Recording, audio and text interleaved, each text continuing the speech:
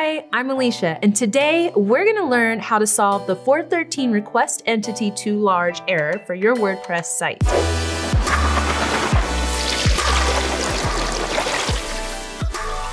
When the 413 request entity too large error pops up, it can leave you scratching your head. In a nutshell, the 413 request entity too large error is a size issue. It happens when a client makes a request that's too large for the end server to process. Depending on the nature of the error, the server could close the connection altogether to prevent further requests being made.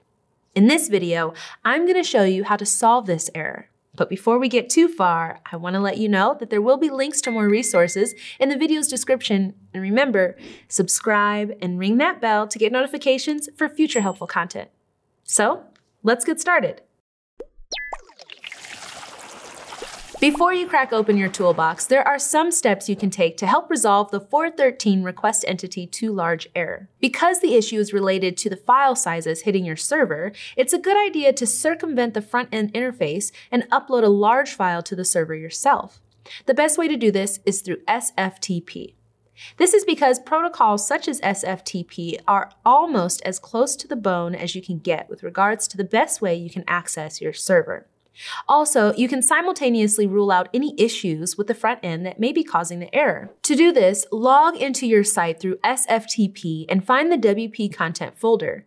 In here will be the uploads folder. Next, upload your file to this folder on the server and see what the outcome is. If the upload is successful, we suggest sending an email to that site's developer as they may want to investigate the issue further on the front end. Of course, permissions errors will stop any server request from running.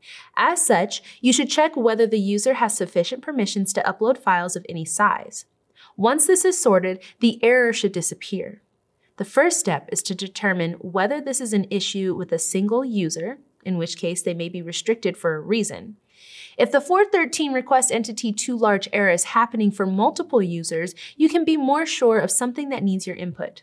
We'd suggest two prefixes here. Double check your WordPress file permissions just in case there's an issue.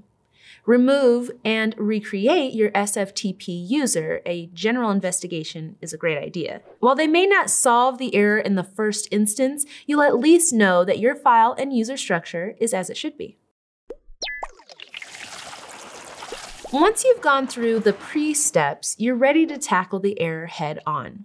The following three methods are listed from easiest to toughest, with the understanding that the path of least resistance is the best one to take. Before touching anything, though, make sure to back up everything in case something wrong happens, okay?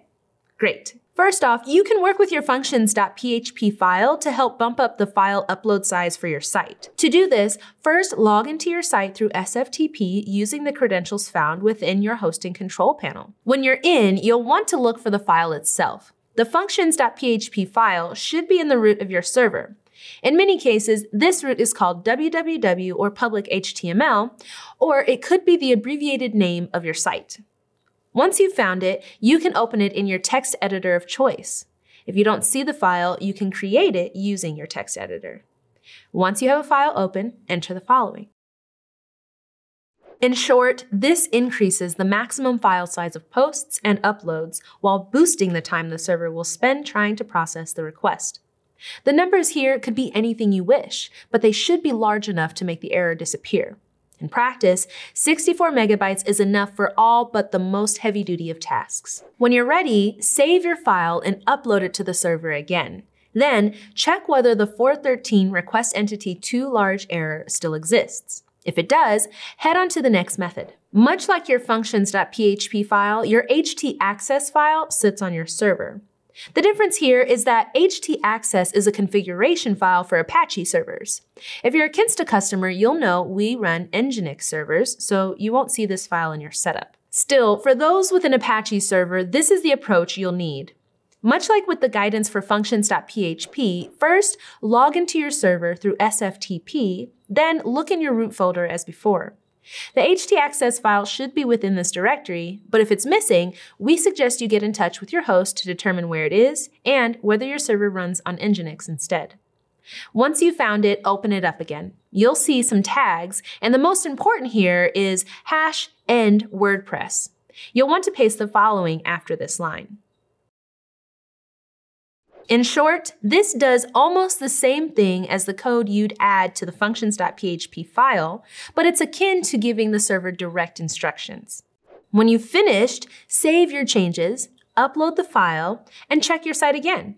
If you're still having trouble, we'd again suggest contacting your host as they will need to verify some aspects of your setup that lie beyond the scope of this video. Our final method is specific to Nginx servers, those used at Kinsta.